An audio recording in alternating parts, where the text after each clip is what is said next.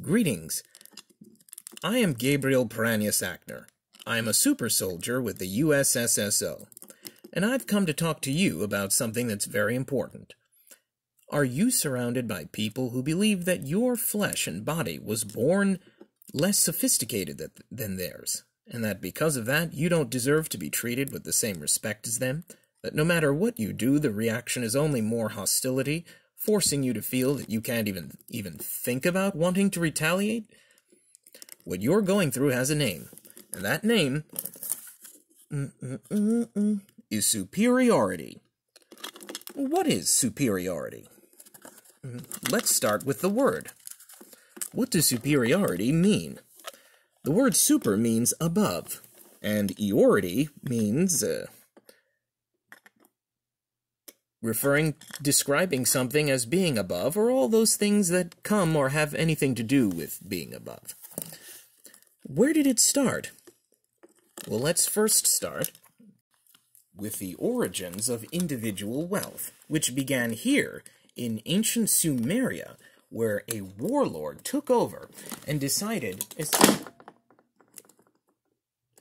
essentially invented the conventional concept of inheritance, deciding that from now on, one's life accomplishments, one's wealth, achievements, knowledge, would not die with them and be wasted, but instead would be inherited by, uh, by offspring giving their offspring an advantage over any others that could not be gained in a single lifetime. This is the inceptional, the seminal event of superiority. See what happened next.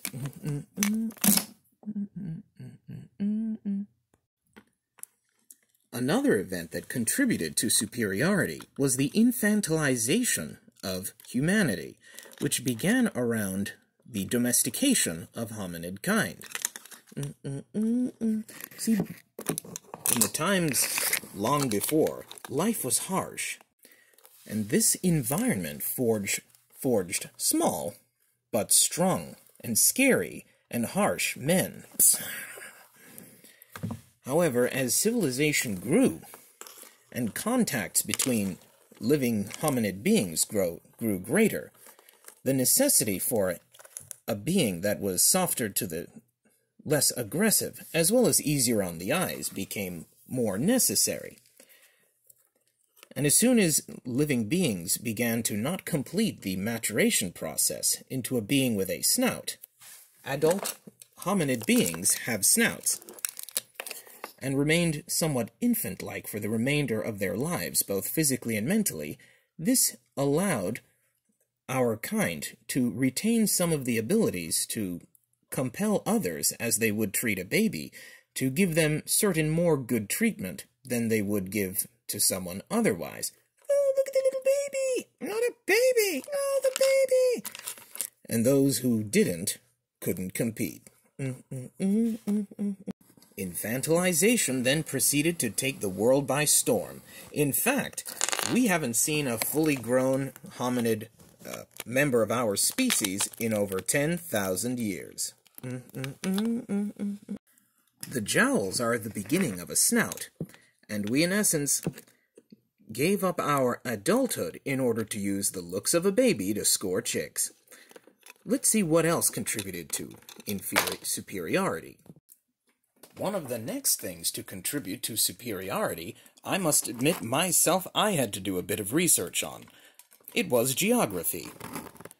See, the mountains of Europe were a perfect crucible for ingenuity, for man's natural savage tendency to want to conquer, destroy, and intimidate, oppress, and dominate their neighbors was intervened by the geography of the landscape. Armies had a really hard time moving around and oppressing each other, however, were not an, obstruct an obstruction that was completely insurmountable, allowing occasionally for them to hurt enough of each other to destroy the weak, but maintain several hostile powers at once, making ensuring that one ruler's mistake didn't become everyone's mistake. Whereas let's for instance say in China, where there's homogeneity, or in Africa, where there's hyperdiversity. Europe was just right, and thus we uh, control things.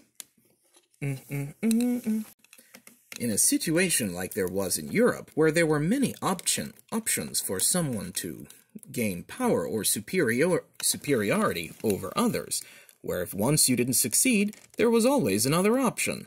And that created that was a hotbed for individual wealth. And with individual wealth came individual rights to protect that elite wealth. And as followers are wont to do, they everyone adapts their feelings to serve that authority, which remains extant to this day resulting in the individualistic narcissism of Western society. It affects our standards of beauty, our standards of food and living, everything to emphasize the self, to delineate ourselves from other people, and to give ourselves, yes, superiority. Where on earth is it? There it is.